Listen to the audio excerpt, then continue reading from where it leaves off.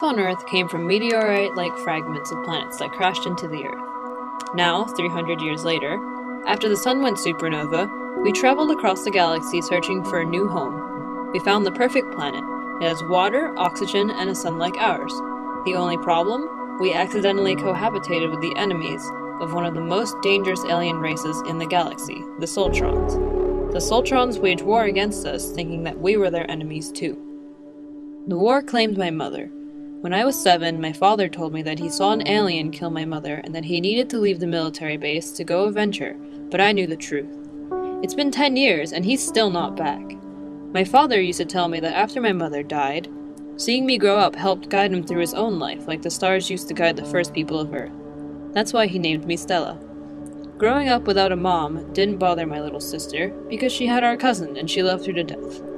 But growing up without a father left a great void in her life. That's why she's forced me to follow her while we track him down to see if he really left us for the reason he said he did. My cousin and everyone on the military base have raised us in my father's absence. She told me that it took after my father a lot, and that I'm made out of the same strength and courage that he is.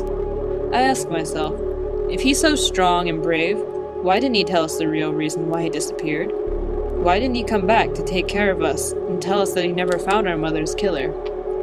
Is it not the brave thing to come back and tell us that he failed?